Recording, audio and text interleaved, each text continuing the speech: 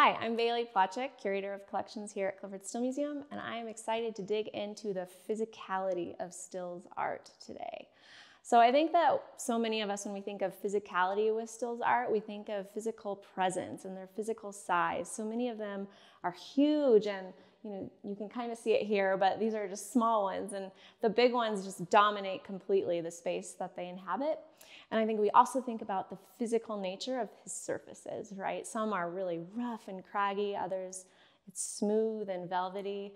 And when you look really closely, uh, you can start to see um, how Still physically built up his surfaces. So let's take a closer look at some of the tools and processes that Still used to physically build up those surfaces. So we're gonna play a little bit today with um, some acrylic paint, which obviously is not what's Still used. He used oil um, paint, but this is just uh, a lot easier in this kind of context and at home to play with, less messy, um, dries quicker, easier to experiment with layering. So this is the kind of tool that's Still used, a, a palette knife. And I'm just going to show kind of the texture um, when you're mixing, kind of the movements you would use to play with the paint on a palette as you're kind of trying to get the texture and the um, viscosity that you are hoping for. So uh, let's just get some of this on the canvas and start spreading. It's hard to see this white, but um, I want to get a ground down here.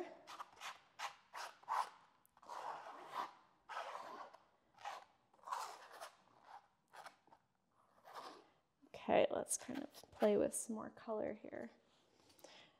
So Still, I think, um, you know, mixed a lot of his, mixed his own paint um, with that so dry pigment media with um, oil media um, in order to kind of play with texture and thickness.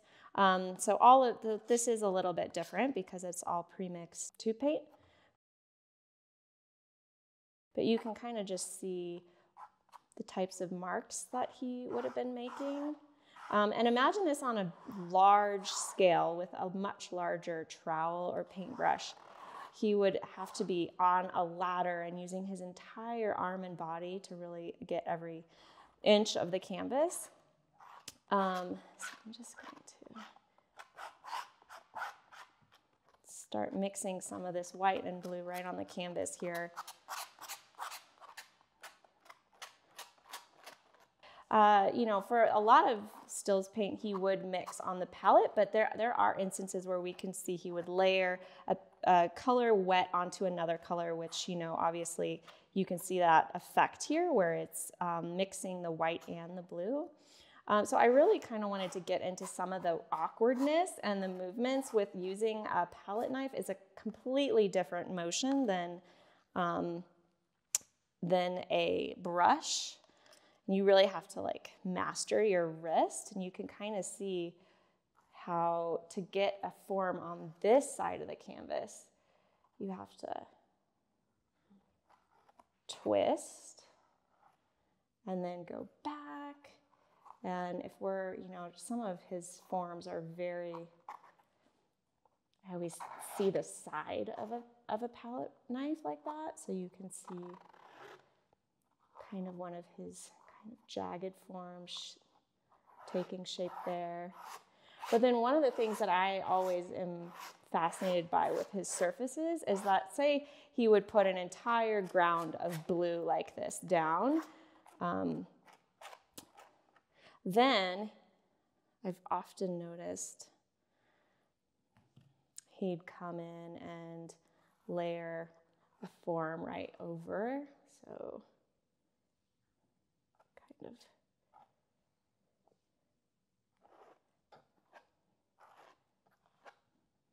that.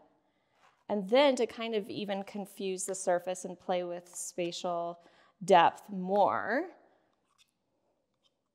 come back over with the blue right along the edge to further define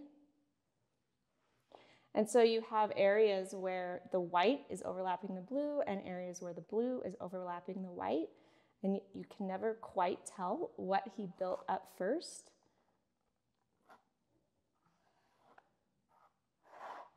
And he would do this layer after layer after layer. So ultimately, you're getting a surface that is incredibly thick and richly built.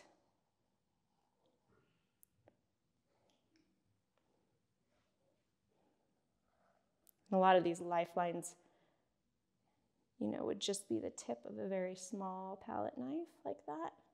And then sometimes I, you can see that he's using the palette knife to scrape.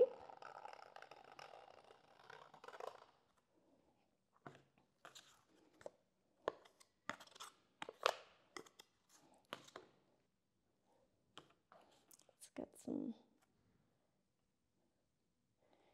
Still loved the primary colors, you know, blues and yellows and reds and blacks and whites and they're all very saturated.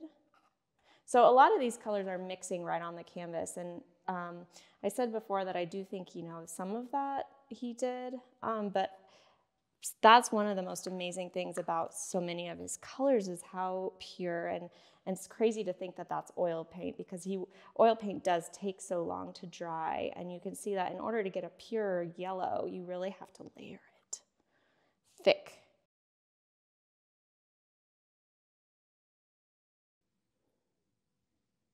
The other thing about a palette knife that's so fun is the kind of the scraping and then you get these like little air bubbles and pockets